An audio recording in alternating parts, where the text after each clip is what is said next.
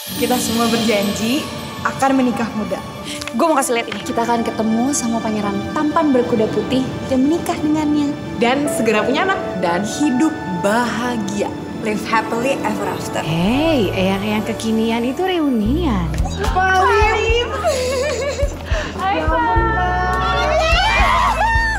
Apakah live happily ever after itu cuma dongeng?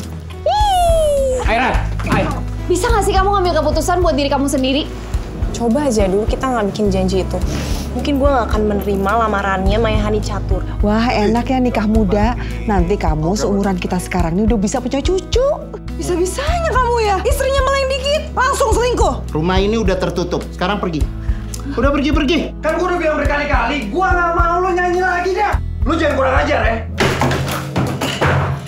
Orang yang menikah di bawah 21 tahun tiga kali lebih besar berakhir dengan perceraian. Nih,